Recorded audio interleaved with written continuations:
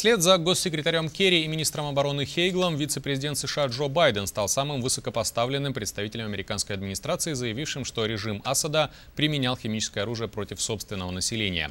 Вот что он сказал. Нет никаких сомнений в том, кто несет ответственность за это ужасное преступление. Это сирийский режим. Мы знаем, что только режим Асада применял химическое оружие, применял его в прошлом и неоднократно. Только у режима есть такая техническая возможность. И только правительственные войска наносили удары по местам, где было применено химическое оружие. Президент Обама считает, и я считаю, что те, кто использовал химическое оружие против беззащитных мужчин, женщин и детей, должны понести за это ответственность.